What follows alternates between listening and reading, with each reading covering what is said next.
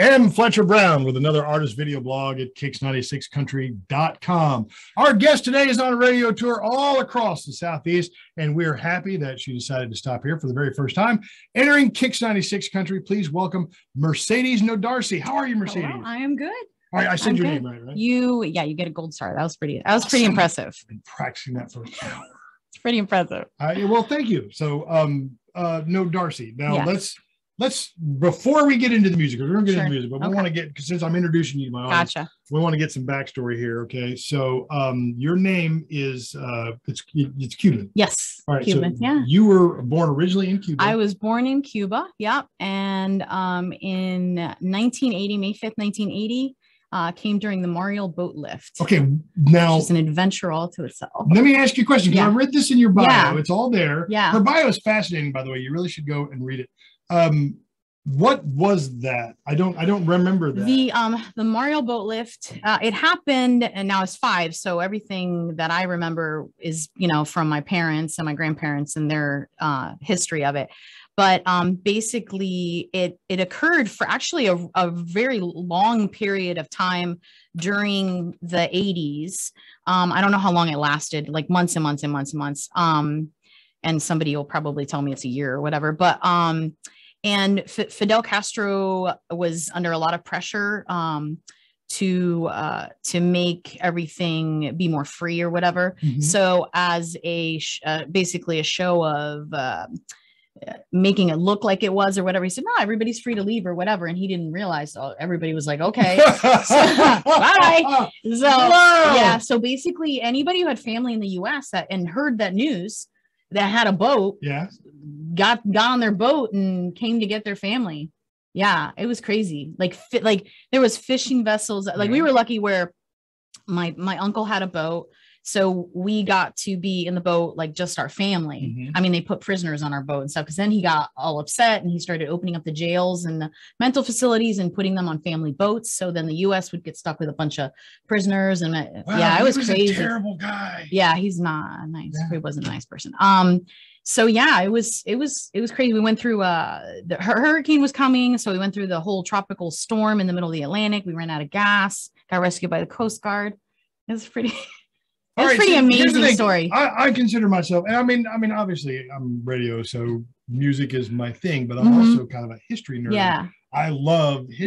yeah google that whole thing like And I've i've had to it's amazing it's insane yeah the Mariel boat lift Mariel. and we Butler. got here um may 5th um 1980 yeah okay. So you landed in like, uh we key west Key West. Okay, because that's the closest point, obviously. And then they had at by that point, I think it was going on before we got here.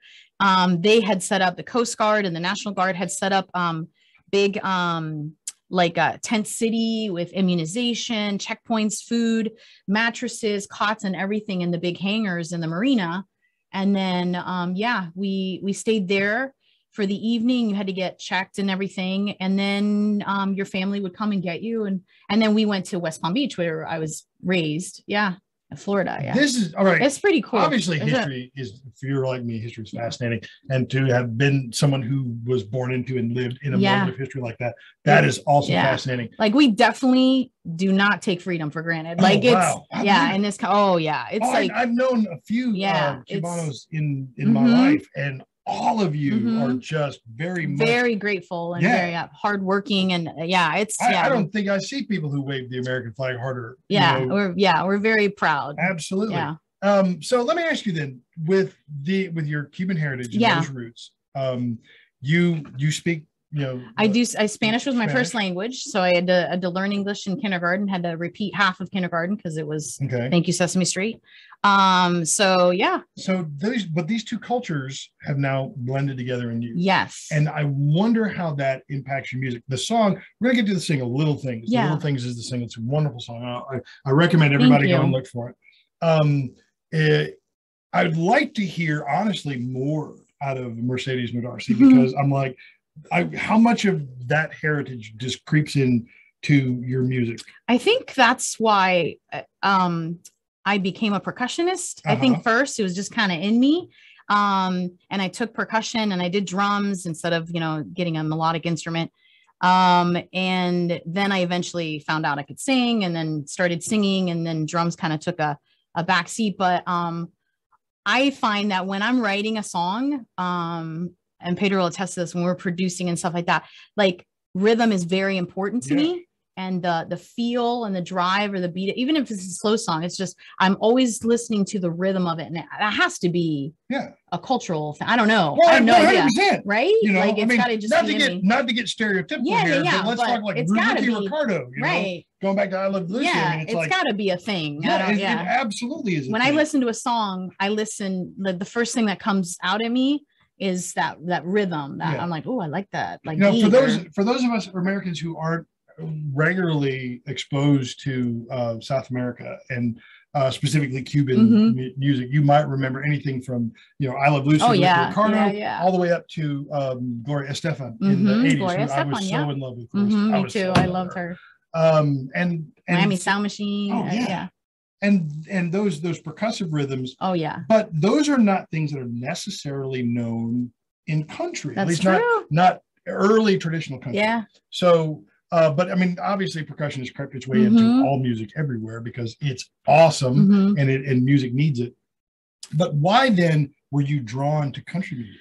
Um, that's you know what Oh, I'm still asking that to myself because I I'd like to learn to see where how I'm going and what road I'm taking. Yeah. I we were looking through all the stuff that I've dabbled and written and stuff like that, and we we were finding that every time we started looking at a song, I was like, this has a country feel to it. Then the other one. Oh my gosh, it totally has a, and I never even realized it. I just kind of did it. I don't, I have, that's a great question. I, I love the, um, I love the storytelling of country. I love the fact that you can, um, do messages of faith or Mhm. hope or things like that. And it's okay. Mhm. Um, I love that.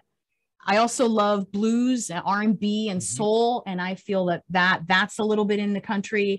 Um, I don't know. It's just um, I feel comfortable in that genre, and I'm a worship music. leader. country music feels. Oh, it's so It's great. home. It is. It really is. It's it's um, and there and there's all different styles for all different types of uh likes or people that you know Mhm. whatever. It's it's it's a great it's a great genre. Okay. All right. Now you mentioned just a second ago that you're you're a worship leader. Yeah. That was going to be another thing Yeah. that I wanted to touch on.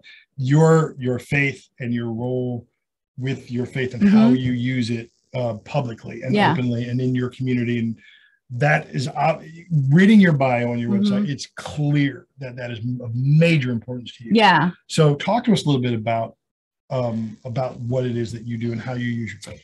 Um, I- currently my um, my job, my weekend job is um, worship leader at my church. Okay. So I lead the worship music wise um, in the church, and um, I've done it since I was little, and now I get paid for it. But I did it for so long. It's just I think um, music in general is something that uh, touches people. So if you have the ability to be in charge or have the ability to lead with music, I feel you have to have that responsibility to give them a message that for those three little minutes that they're listening to that song, whatever they're trying, and whatever problems they're having and whatever issues they're having in real life in their life, you can take them time machine to in those three little minutes. You can give them either hope, inspiration, um, something to uh, give them a reset. And maybe when that song is done, they'll have a little bit more light in them than they did before the song Absolutely. happened. So I just feel when you do that in your songs and the message in your song, I think it just, I don't know. I, I think That's we need a little bit more light in this world. So if we, if we can do that, that that's great. All So, right. yeah. So like w- your songs are almost like little three minute sermons, three and a half right. Like, sermons, but without without necessarily Right. all being yeah. like and that. not, right. And not Yeah. putting it in people's face. It's literally, it's a good message. Yeah. Whether you, whether you, you take it from the scriptural base or whatever, it's a great message. It's, Mm-hmm. you know, it's a positive message of being a light for others. Um, making sure your light is still shining so you can help others. Because if our light's gone, you know, we that's it's impossible to help others. So yeah, The current single is the Mhm, little the little things. All right. So talk to us about that song. What is the message of that song? Is that one that you wrote? Yeah, yeah. The message is basically finding the everyday blessings in our lives, um, the little blessings in our lives, um, and then taking that out into the world, just being grateful for those. Because a lot of times, and especially now, um, with all the stuff that's going on, we tend to focus on, oh, this is horrible, this is horrible, my job and this, etc.